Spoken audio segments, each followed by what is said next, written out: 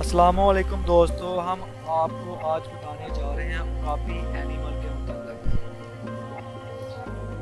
ये ज़मीन पर दिखने वाला अनोखा जानवर कहाँ रहता है, इसकी खुराक कद वज़न वगैरह और भी अहम मालूम आपको इसके बारे में बताएँगे।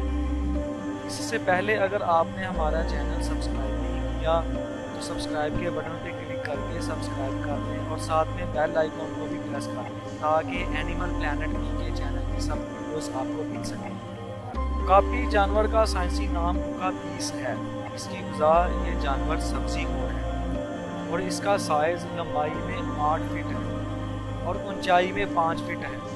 वज़न चार सौ से छः सौ साठ पाउंड तक हो सकता है। जंगलात के जराफे के नाम से मशहूर काफ़ी ज़्यादा है और जैबरा के माबैन खास की तरह दिखाई देते हैं। बहरहाल, ये जराफे का वाहद ज़िंदा रिश्तेदार है।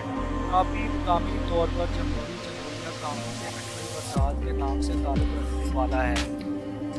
ये वाहद जगह है जहाँ ये जंगल में पाया जाता है और बारिश में खुश्क रहने के लिए मोटी दी की खाल है। इसके खुरों के तय पर खुशबू वाली इसके इलाके को निशानजद करने में मावन है। तजावीज़ के अलावा उकाबी के छोटे सिंह में दिखाई देते हैं, जबकि तमाम मर्दों के सिंह होते हैं, और ये सिंह खातन में नहीं पाए जाते। काफ़ी बरसाती जंगल में घने पौधों के दरमियान रहता है। पौधों पर मबनी गजा, फल, कलियों, पत्तियों, टहनियों और दीगर पौधों पर मुश्तमिल है। जराफा और गाय की तरह उकाबी के भी चार पेट हैं, जो सख्त पौधों को मदद करते हैं। जराफे की तरह उकाबी की भी लंबी ज़ुबान होती है, जो शाखों से पत्तियों को तोड़ सकते हैं। एक उकापी हर दिन 45 से 60 पाउंड के दरमियान खाना खा सकता है, जिसमें मादनियात और नमक के लिए नदियों की जड़ी मट्टी भी शामिल है।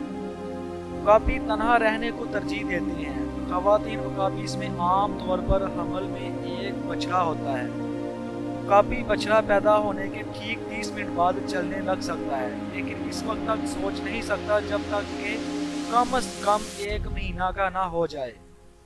उम्मीद करते हैं आपको वीडियो पसंद आई होगी। अगली वीडियो में कोला जानवर के मतलब हम बताएँगे। वीडियो लाइक, शेयर, सब्सक्राइब करें और साथ में बेल आइकॉन को भी प्रेस कर लें ताकि animal planet P K channel की सब वीडियोस आपको मिल सके।